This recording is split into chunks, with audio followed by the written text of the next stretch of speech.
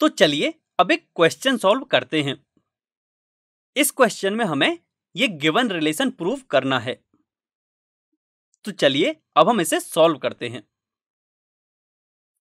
Two tan inverse one by two को हम इस प्रकार भी लिख सकते हैं। जिसे आगे सॉल्व करने पर हमें यह मिलता है।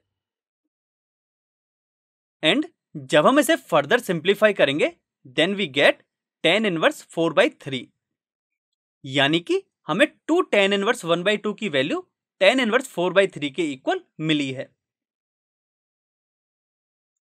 अब यदि हम इस क्वेश्चन के एलएचएस को देखें तो वह कुछ इस तरह का है, जिसमें हम two tan inverse one by two की value tan inverse four by three put करेंगे, जिससे कि हमें कुछ इस तरह की टर्म्स मिलेंगी। अब हम यदि इसे चेक करें तो four by three and one by seven का प्रोडक्ट हमें फोर अपॉन ट्वेंटी वन के इक्वल मिलता है।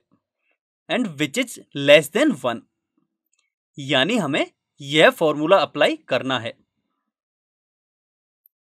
Where we can see that x into y is less than one now इस फॉर्मूले में एक्स की जगह four by three and y की जगह वन बाई सेवन पुट करने पर हमें एल एच एस की वैल्यू यह मिलती है।